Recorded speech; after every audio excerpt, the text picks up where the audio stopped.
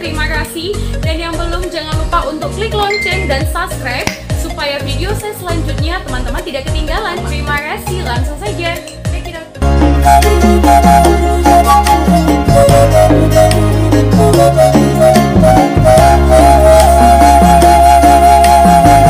Sejarah dan silsilah marga Nainggolan Nainggolan adalah salah satu marga Batak Toba.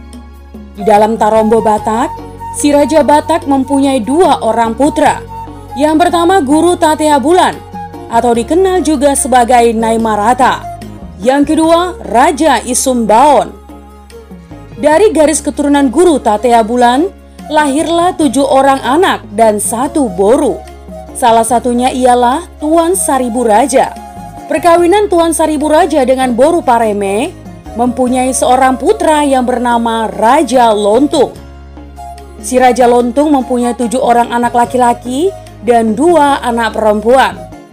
Ketujuh anak laki-laki tersebut adalah Sinaga, Situmorang, Pandiangan, Nainggolan, Simatupang, Aritonang, Siregar, dan kedua anak perempuan tersebut adalah si Boru anak Pandan yang menikah dengan marga si Hombing, si Boru Panggabean yang menikah dengan marga si Mamora.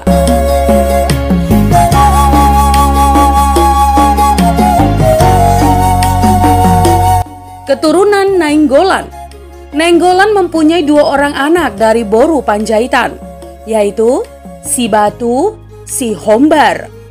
Si Batu mempunyai dua orang anak, yaitu Parhusip Batuara. Mengenai siapa anak nomor satu di antara Batuara dan Parhusip, terdapat beberapa pendapat di kalangan keturunan si Batu. Yang pertama, berdasarkan urutan kelahiran, Batuara merupakan anak sulung. Yang kedua, berdasarkan sejarah, Baik Batuara maupun Parhusip sama-sama memperistri anak dari Raja Sijorat Panjaitan. Keturunan Parhusip bernama Lindiniaek menikahi sang kakak, sedangkan keturunan Batuara yakni Pangulu Raja menikahi adik. Hal inilah yang dipakai oleh keturunan Parhusip sebagai dasar melakukan klaim hak kesulungan. Sedangkan menurut garis silsilah dalam adat Batak, garis keturunan dihitung dari pihak ayah atau patrilineal.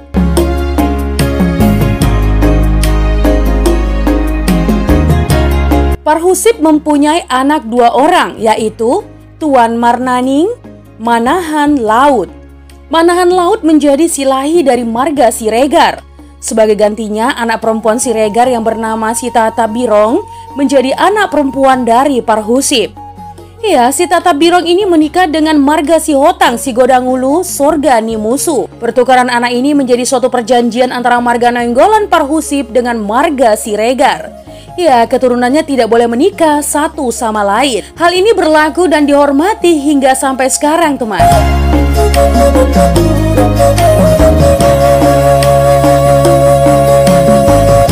Si Hombar Si Hombar mempunyai tiga orang anak, yaitu Lumban Nahor, Lumban Raja atau Tungkup Raja, Lumban Siantar. Menurut Tarombo atau silsila, marga Toga Nenggolan berada pada sundut atau generasi kelima. Toga Nenggolan mempunyai dua orang anak yaitu si Batu dan si Hombar pada sundut keenam. Si Batu punya dua orang anak yakni si Batuara dan Parhusip.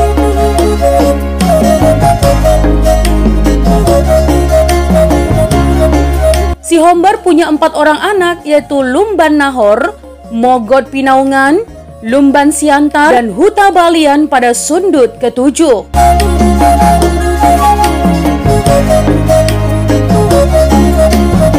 Mogot Pinaungan di sundut ke-10. Mogot Pinaungan mempunyai dua orang anak yaitu Tanjabau yang menjadi Lumban Tungkup dan Datu Parulas Marultop menjadi Lumban Raja pada sundut ke-11.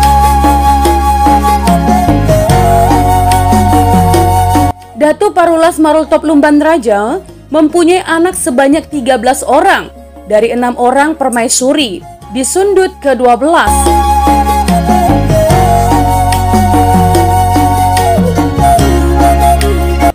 Putra dari Datu Parulas adalah Pusu atau Shiraja Pamalingan Guru Panuju Waton atau Mogot Kualu Darmahasi Mahulae atau Tuan Ampir Sarma Hatta Anak Gajut atau Tuan Rangga Siboro hanya sebagian saja Si Raja Talutuk Toga Saheta Sabungan Raja Raja Tinunjungan Tuan Baringin Guru Tinandangan Raja Tomuan, Raja Bonandolok.